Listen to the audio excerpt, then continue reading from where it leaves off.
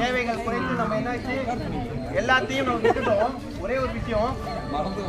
இங்க இருக்க எல்லா ஜீவராசிகளும் தன் குழந்தையை தானாவே ஈண்டெடுத்துக்கிட்டு மனிதன் மட்டும்தான் கிழிச்சு எடுக்கிறான். இதுக்கு வெக்கி தலை குனியணும். திரிக்கக்கூடாது.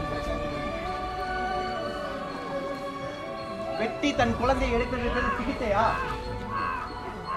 இதுக்கு எப்படி நம்ம சிரிக்கலாம்? போய் அம்மா தங்கச்சி அக்கா கேட்டு பாருங்க. அதோட வழி என்னன்னு தெரியும்.